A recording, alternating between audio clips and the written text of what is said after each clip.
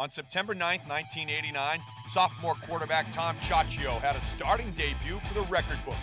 In the season opener versus Villanova, the Gloversville, New York native passed for a school record 449 yards, threw two touchdown passes, and ran for a touchdown as the Crusaders won their 10th straight season opener 38 17 over the Wildcats.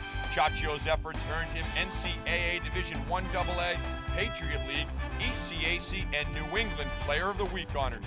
Ciaccio would graduate as one of the most prolific passers in Holy Cross history, finishing his illustrious career with 8,603 yards passing and a Holy Cross record 72 touchdown passes.